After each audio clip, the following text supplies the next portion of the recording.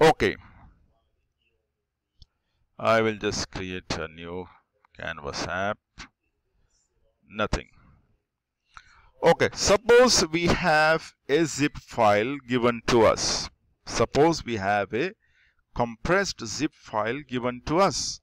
We will extract it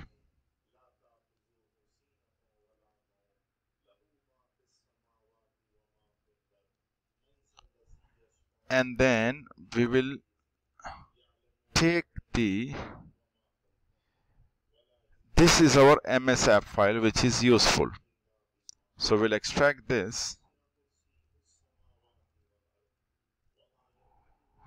This is the file that we need.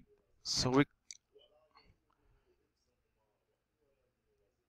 we say file open browse files we will not save it.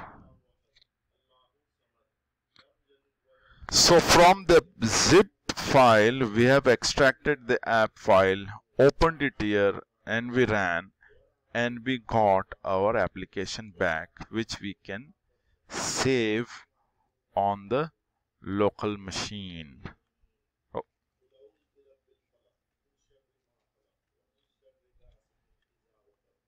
okay that's it. So this is another way of importing the uh, uh, the app into your uh, environment. You take the zip file zip file you extract it in a folder and then you go and pick the MS app file and you import it. That's another way of uh, loading the app into your system